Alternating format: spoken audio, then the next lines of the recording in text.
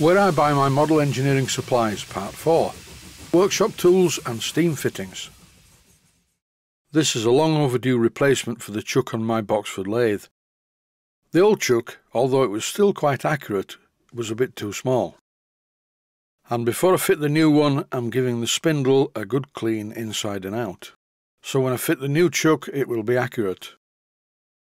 And here is the new chuck, very nicely made. The first thing to go will be the chuck key spring. I really hate these. I just never leave the chuck key in the chuck.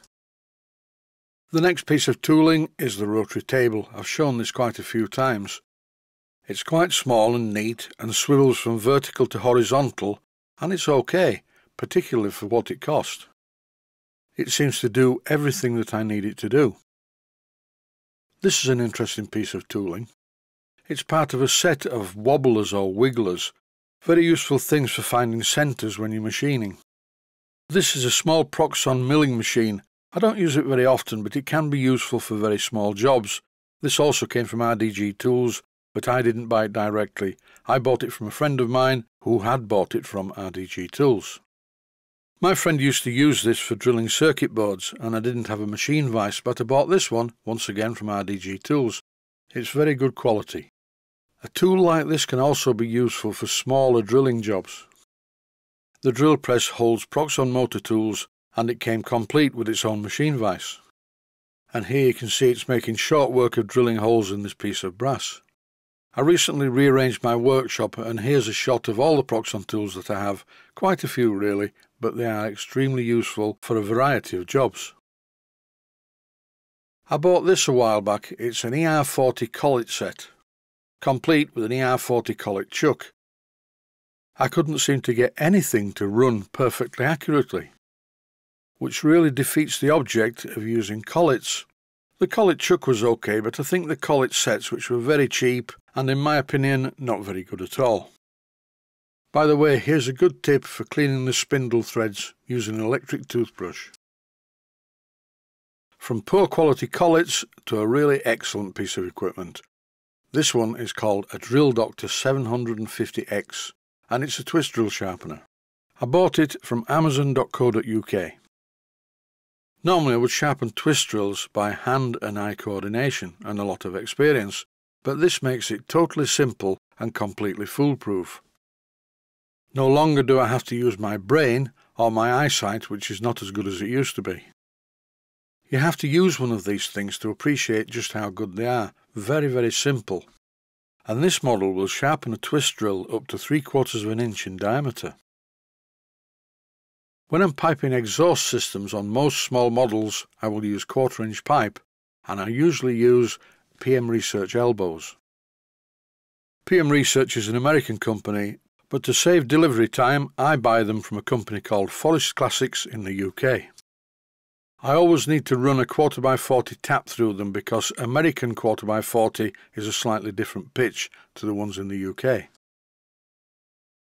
The PM research range is quite vast really. They sell a lot of things from boilers to steam engines to generators and also these really nice little whistle and valve assemblies.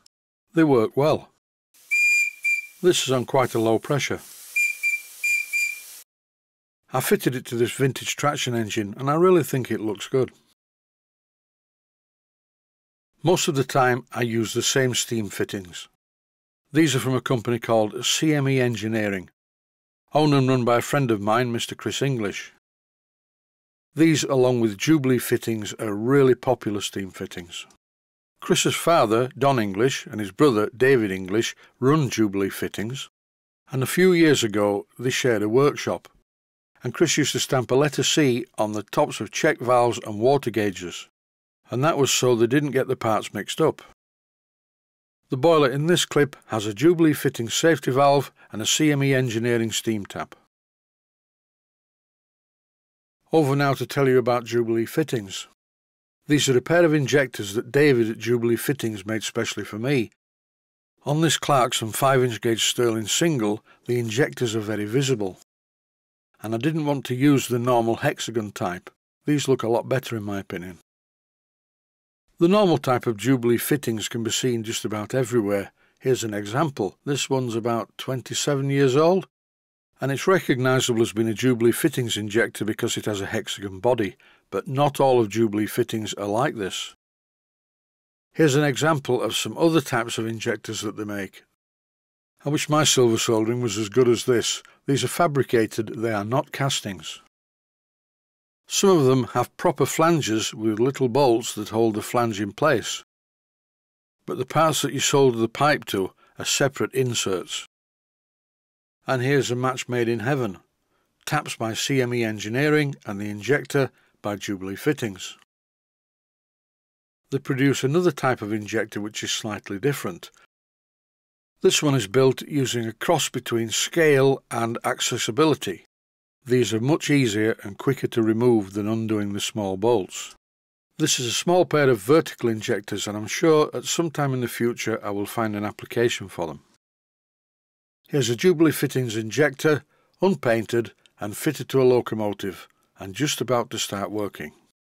I opened the water valve, opened the steam valve, and now I'm slowly shutting the water valve, and suddenly it starts to inject, and this is at 30 pounds per square inch, which is right at the bottom of its range.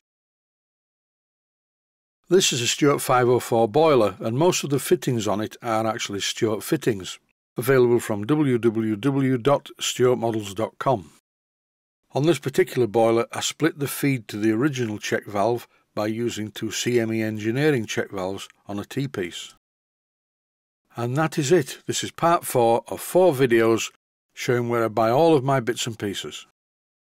Stay healthy, thanks for watching, and I hope you found it useful. Please take the time to visit my Mainsteam Models website. Click on the section of the website that says Video Playlists and by doing that you will find it very easy to find other videos that you may like to watch.